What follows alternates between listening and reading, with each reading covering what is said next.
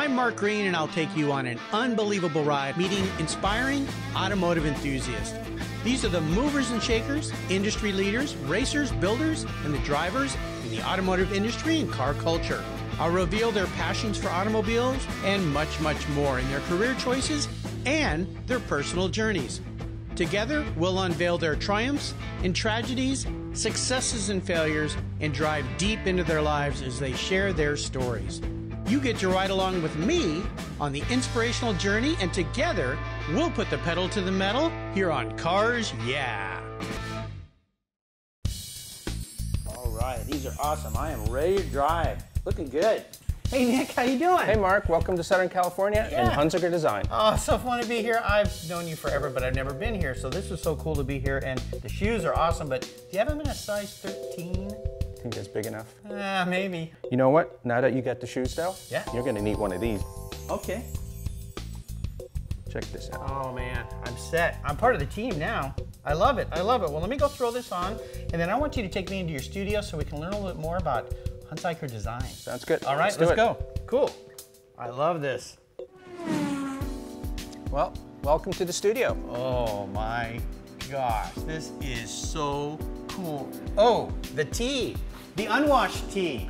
I want to learn a little bit more about this special car because I know about this car. I know that it's never been washed, which is a tough thing for me to handle. And there's a little white mouse here that we're going to learn about as well. But tell me a little bit about this car because it's got an interesting history and it's a driver. Can I open it? Go ahead. Cool. So what's the deal here? Well, it's a 68T. It's a sports purposes. Last year, uh, the short wheelbase car. Right. It's got a two liter S engine. It's originally from Italy. It was modified in period. And everything on the car is basically from 1968. Wow. You know, I love the fact that this is a car that you drive, you enjoy. You kind of have a slogan about driving versus washing. What is that? Like you, I'm so busy. So if I do have time, I'm not cleaning, I'm driving. Yeah, I love that. I've got to learn a little bit from you because I'm a little bit of a nutcase when it comes to being clean, but I like the fact that you get in this car and you drive. And since we're talking about cars, there's something else sitting over here we're going to talk about your race cars. Now we're going back in time a little bit, although same era because 68, 69 Lotus 51 Formula Ford race car. I used to race, as you know, a Lotus 18, so you're a little quicker than me on the track A little bit. in this car. But uh, tell me a little bit about this car and the fact that it's blue has some significance to your family, right? Right. So this is an old uh, Jim Russell school car from Canada. Um, I bought it about five, six years ago. Um, and I actually got the receipts all the way back to when it left Jim Russell. Jim Russell. Yeah. Oh wow. It's a Lotus 51. Um, as you said, it's from a Ford car. And the reason it's blue is because it's painted in the family colors of uh, Bira blue with yellow. So we're going to talk a little bit about your family as we get into more of your history and your art. But uh, there's a car up in the Pacific Northwest where I live, Romulus, Right. which is a car that goes back to Prince Bira, who is your Grand uncle. grand uncle. So this story just gets in more and more interesting as we go into this whole thing. So I can't wait to learn more. But uh, ah, this tugs on my heartstrings. I love these old race cars, and you've raced this three, four times this year, right? So far, yeah, I'm trying to do maybe three, four, maybe depending on uh, how the purse strings look. But yeah, There you go. try to couple, do a I couple more this year. I understand. Ah, that's great. Well, maybe I can have a seat, huh? Sure, go ahead. Okay. Oh, Nick, this thing is so cool. It brings back memories when I was racing my Lotus.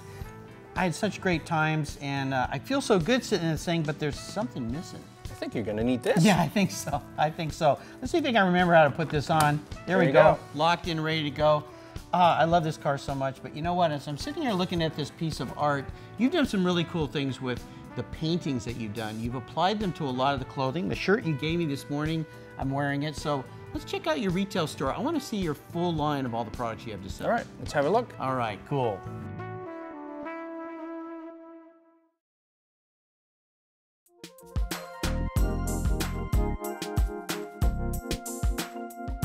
Nick, in addition to the fantastic paintings you do, you do posters. I've seen your work in magazines, articles, online, and so forth. But you've got all these wonderful clothes, shirts, hats, awesome the shoes. We're going to talk about those more in a minute. But you do something really unique with the way you design your clothing with the artwork.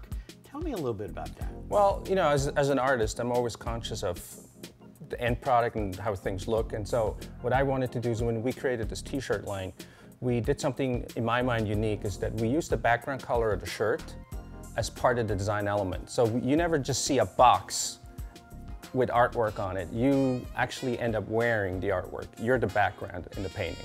Very nice. I love the way it works. It's so cool. It's so cool. I've got so many of your shirts. Every time I wear them, people always say something interesting. How do I get a hold of these shirts? Now, best way for people to find all your products is where? Come to our website. We have you know various uh, outlets, retail outlets, sure. wholesalers. So absolutely, you can it. buy direct from you or. Uh, when I Google Hunziker, H-U-N-Z-I-K-E-R, the imagery that comes up is absolutely brilliant. I love it. So in addition to all the great clothing, the artwork and everything else, there's also the shoes which you set me up when I got here. I've had some of your shoes before. I love them. Driving shoes are absolutely fantastic. So let's go take a look at the shoes and then I, I want to talk a little bit about this watch because the fact that you paint on a watch dial face blows me away. So I can't wait to see that. Let's check out the shoes first though. Sounds good. All right. You have so many cool shoes here, and I've been aware of your shoes for a while, but this is somewhat of a new venture for you guys, and I see a lot of references to Steve McQueen, of course, the Gulf Racing colors for the famous Gulf Racing 917s and GT40s and so forth. So what I'd love for you to tell me is a little bit about what makes these shoes unique, but let's start with this one because this was made for somebody kind of special. Right, yeah, this was uh, designed for Chad McQueen, so Steve McQueen's son. Right. And we designed the shoe just with him in mind. And like all our driving shoes, you know, we call them casual driving shoes because they're probably the most comfortable shoes you've ever worn. And in addition to that, it's also a driving shoe. So we built in some features. Um, you know, you like you have the rounded heel, so you have smooth thr throttle application. We put an abrasion patch in so you can heel and toe.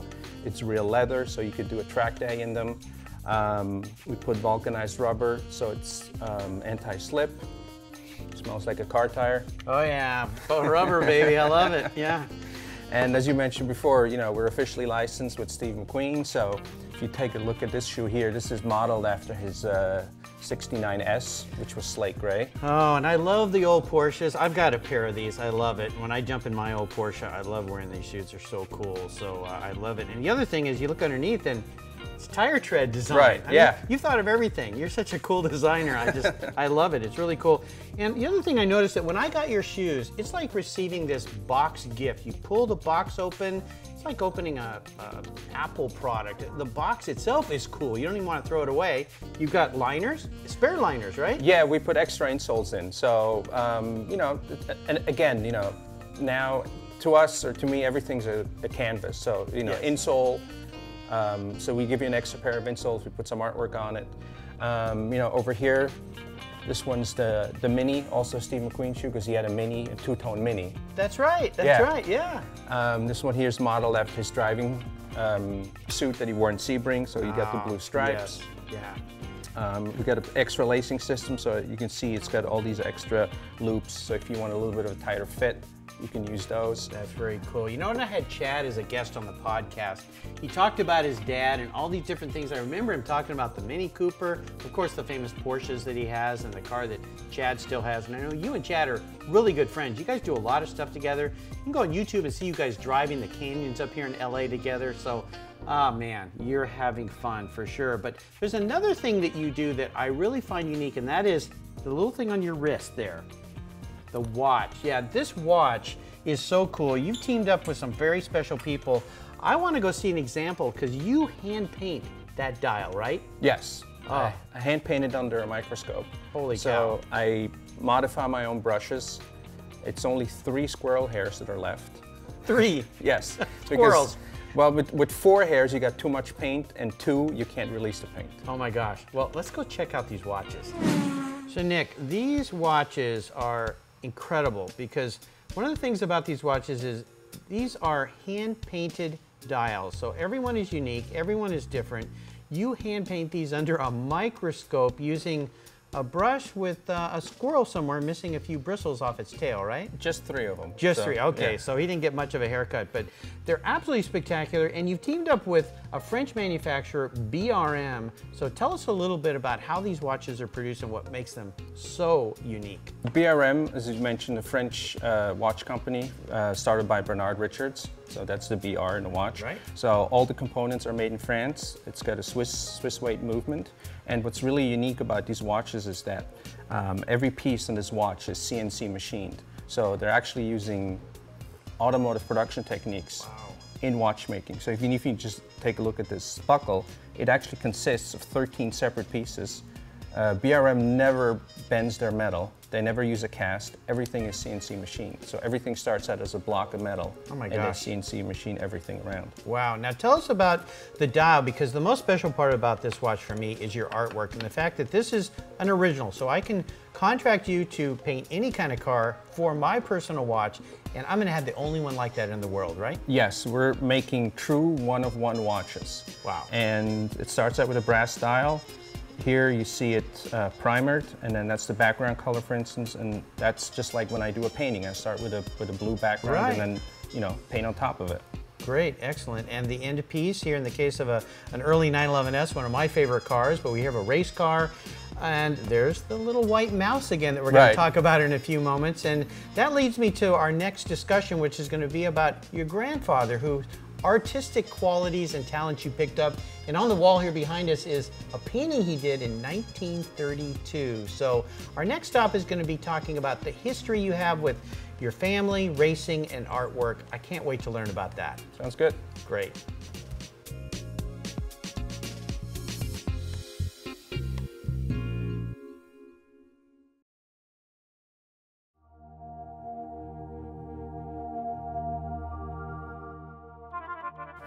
Right, Nick, what's cool about you is not only your artwork, but there's some history going on here with your history of art, your family, and so forth. So I want to go way back in time. And when I first came in to visit you today, I saw a little white mouse on your Porsche 911. I've seen it throughout your shop and studio here. And I think that has to do with uh, Prince Bira being a family member, and then we'll evolve into your grandfather as an artist and a style that you picked up. But what's the deal with Prince Bira, the mouse, and of course this very special car named Romulus? Yeah, so the white mouse was really um, the nickname of my. It's gonna get complicated now. so it's my great uncle's uh, cousin. So my great great uncle was Prince Bira, as you mentioned. He was the first Formula One race car driver from Thailand. Um, before the war, he raced ERAs, and that's where Romulus comes in. That blue car that Yes. I know of, yes. And so famously, he always had a white mouse on the side of his car because that was the nickname of his cousin who actually financed all the racing ventures. So he oh. wanted to let everyone know that his cousin was involved. And his cousin's nickname was New, which was Little White Mouse. Oh my gosh. And the reason the cars are blue is because Bira once met a Danish socialite who had a blue dress, and he was known as somewhat of a, let's say, you know, he was a gentleman driver. Yes. And um, he was very smitten with her and the color of the dress. So from then on, he painted all his cars in light blue. That blue, And which is also why the Lotus that you saw earlier is also in the family color of uh, light blue. Blue. So you've carried this family tradition going back to racing. And if anybody goes back and reads about Prince Bira, there's quite an amazing history there. That car, Romulus, I'm mentioning, which is owned by a gentleman I know up in the Pacific Northwest, who was, if, correct me if I'm wrong, one of the most winning Formula One cars ever, because that car ran year after year, or maybe yeah, I'm I mean, exaggerating it was a little it was bit. a little bit just before Formula One, so it was uh, what's called Voiturette racing. So it's which essentially kind of became Formula One after the war. So yeah, he in, in that car he won the Monaco Grand Prix before it was even known as the Monaco Grand Prix. Back then it was known as the Coupe uh, Rainier, you know, named after Oh, oh, Prince. Rainier, Yeah. yes. Um, so yeah, that car was probably you know won all the the for, uh, Voiturette or Formula Two races in its time before the war. And then we move into your grandfather, who was an artist. And we looked at a painting that was on your wall in your studio here, painted in 1932, that your grandfather did. And he used a unique style that you've emulated uh, in some respects. So I'd love for you to talk about that piece of work that we saw and then how that relates into your painting, because you have a very distinct style. Right. So that was my grandfather on my uh, father's side.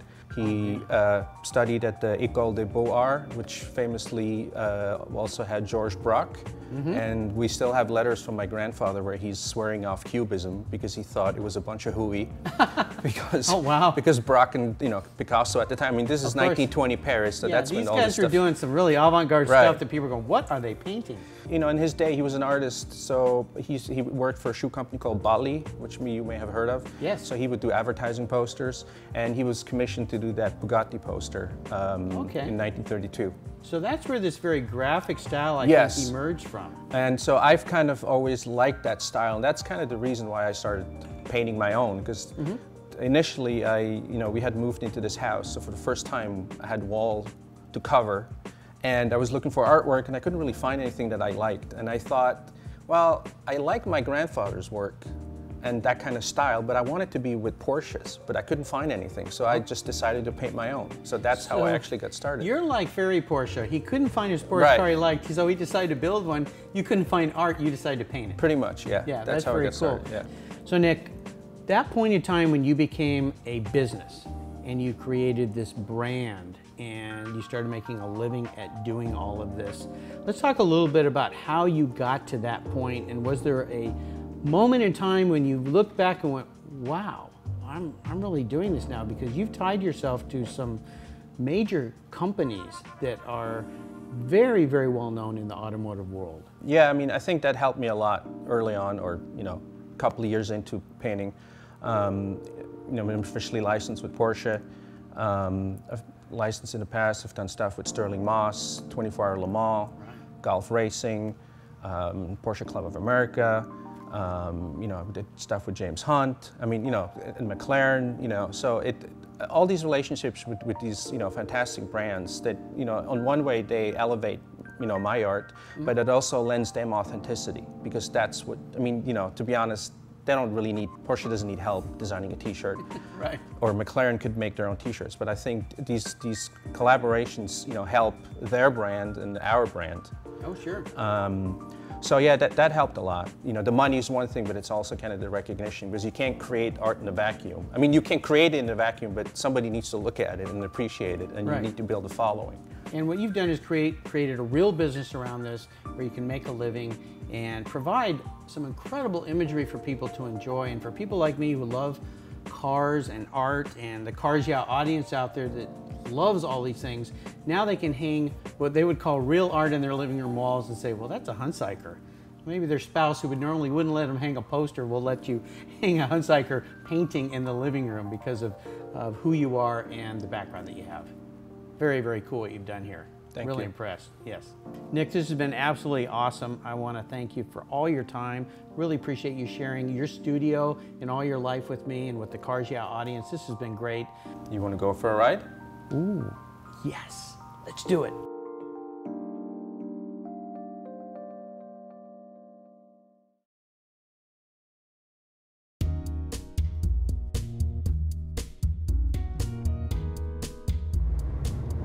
All right, so this is the car that you went to Nova Scotia to pick up, and you drove it all the way back across the country to Los Angeles, right? Yeah, we did uh, 4,800 miles.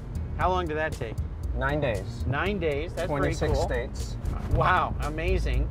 And as part of uh, telling our listeners here that uh, this is the art car, so explain to me what you mean by the art car, because most people think of BMW art cars where a famous artist paints on a car, which is what I thought you were going to do, but that's right. not what you're up to, is it? No. So what I'm doing is um, I'm to celebrate 10 years of, of, being in business as a as a you know professional artist. Artist. Right? Uh-huh. Uh, I'm doing an art car where I'm building um, my dream 911, and I'm doing the entire build in exchange for artwork.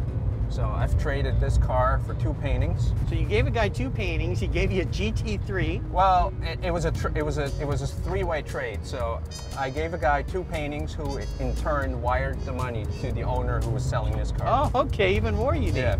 Cool. Okay, um, so you've got the car now.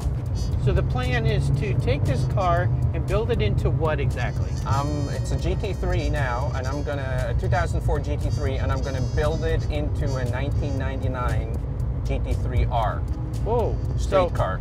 R. Now the R, they didn't make many of those. N- well, actually, the, the GT3R was actually a race car. Right. And so in 1999, they built two prototypes Okay. that they took to Le Mans and raced in Le Mans. And so I'm building the street version of that car. Of that car. Yeah. Awesome.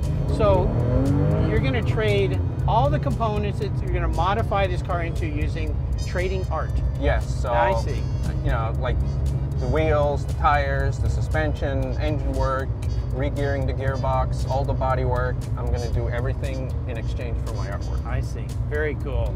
So that's why I'm calling it an art car, The art even car. it isn't. So you're going to build your own whole custom car, trading art for everything.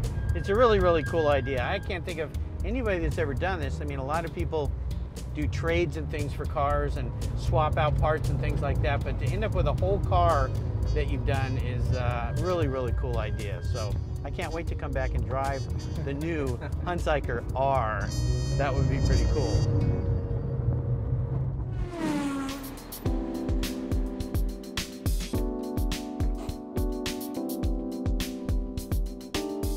All right, boy, that was fun. What a cool car. And I can't wait until you have this thing all done. Your new R version is all built and everything, which would be really, really awesome. Thanks for spending a day with me here. You set me up with some really cool duds, but most of all, thank you for a really fun time. Yeah, and I'll see you a little couple months here at Laguna Seca, okay? Sounds good. All right, thanks, Nick. Take care. Oh, man. This thing is cool.